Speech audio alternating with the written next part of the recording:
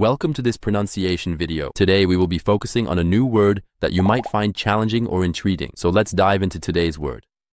Faiblir, which means Weaken. Become weaker or cause something to lose strength and vigor.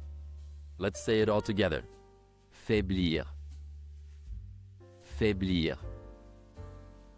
Faiblir. One more time. Faiblir. Faiblir. Faiblir. Thank you for joining us on this adventure in pronunciation. Remember, language is a journey, not a destination. Keep exploring, experimenting, and expanding your linguistic horizons. We'll see you next time.